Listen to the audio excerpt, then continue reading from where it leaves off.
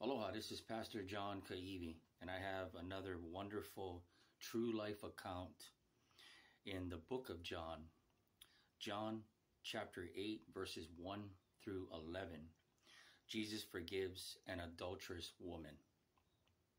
I'm going to read the scripture and then I'm going to dive into the applicational commentary. John 8, verse 1. But Jesus went to the Mount of Olives. At dawn, he appeared again in the temple courts, where all the people gathered around him. And he sat down to teach them. The teachers of the law and the Pharisees brought in a woman caught in adultery. They made her stand before the group and said to Jesus, Rabbi, teacher, this woman was caught in the act of adultery.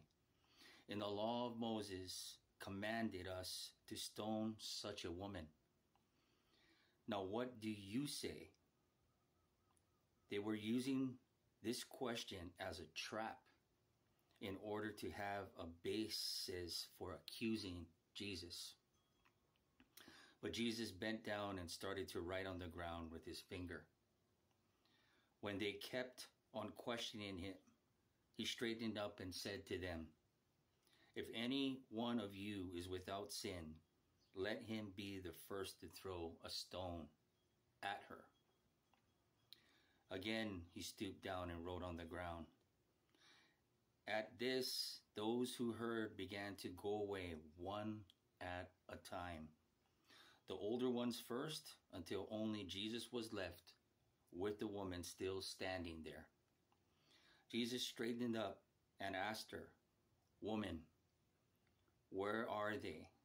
Has no one condemned you? No one, she said, then neither do I condemn you. Jesus declared, Go now and leave your life of sin. the Jewish leaders had already disregarded the law by arresting the woman without the man. The law required that both parties to adultery be stoned, as stated in Leviticus 20, verse 10, and Deuteronomy chapter 22, verse 22. The leaders were using the woman as a trap so they could trick Jesus. If Jesus said the woman should not be stoned, they would accuse him of violating Moses' law. If he urged them to execute her, they would report him to the Romans, who did not permit the Jews to carry out their own executions. This is a significant statement about judging others because Jesus upheld the legal penalty for adultery.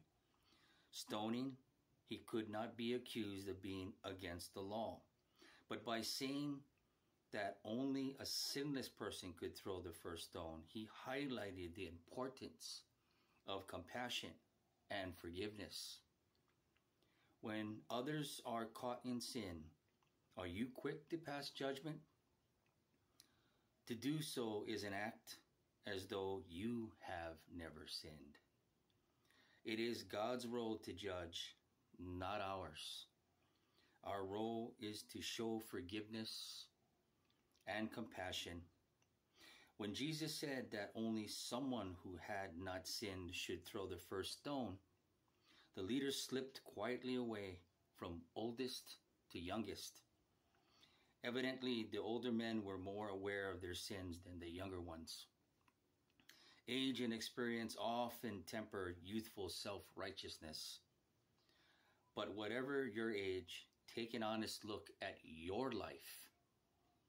Recognize your sinful nature and look for ways to help others rather than hurt them. Jesus didn't condemn the woman accused of adultery, but neither did he ignore or condone her sin.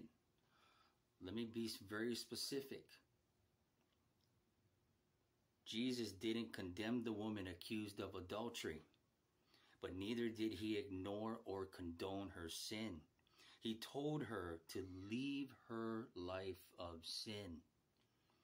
Jesus stands ready to forgive any sin in your life. But confession and repentance mean a change in one's heart. Confession and repentance means a change in one's heart. With God's help, we can accept Christ's forgiveness and stop our wrongdoing, stop our sin. Folks, this is such a wonderful teaching, a real live account that happened almost 2,500 years ago.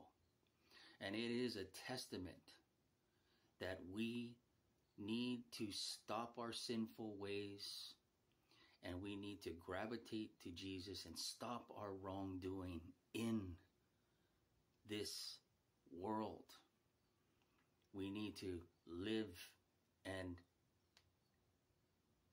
move into holiness and righteousness to the best of our ability. Will we be perfect? Absolutely not. But we need to move in that direction, folks. And we need to gravitate to Jesus. Jesus died on the cross for us. He did the work for us. That's why we live in the dispensation of great salvation by grace through our faith in Jesus Christ. I hope this message found you well. I love this story. This is such a true life account. And because of our condition in our world today, everything in sex is a is a free for all. There's online pornography. There's there's a, a, a, adultery. There's fornication, sex outside of the marriage covenant. The sexual immorality is at the top of the of, of, of the of the food chain here, and we need to stop that, and we need to gravitate to our Lord Jesus Christ. And and, and I I implore you to to do a self-examination if you're struggling with any sexual immorality, adultery, secret a secret relationship, secret sin, fornication, if you're not married and you're having sex, homosexuality. You know, God designed marriage. We didn't. God did. And of course, online pornography that kills. That kills. Stop your sin. Jesus Jesus is coming soon. The rapture is imminent. Anyway, folks, until the next video, Jesus loves you and he will forgive you. But you have to be sincere in your in your heart. And I love you too. Aloha.